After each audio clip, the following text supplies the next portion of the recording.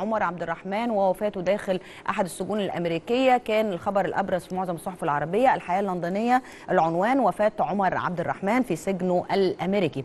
التفاصيل عن وفاة من أسمته الحياة بالأب الروحي للجماعة الإسلامية الدكتور عمر عبد الرحمن داخل أحد السجون الأمريكية حيث كان يقضي عقوبة السجن مدى الحياة تحديدا في قضية تفجيرات نيويورك 93 مركز التجارة العالمي.